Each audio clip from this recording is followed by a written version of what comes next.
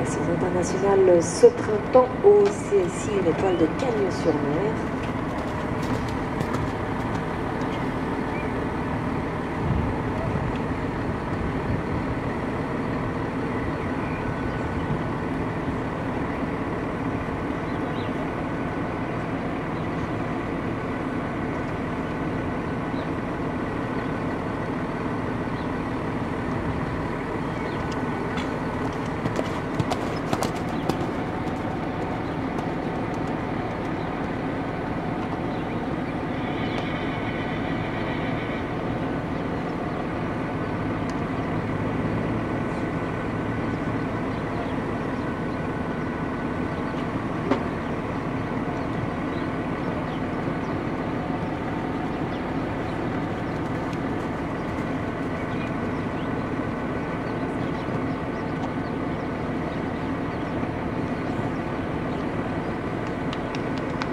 Et c'est un parcours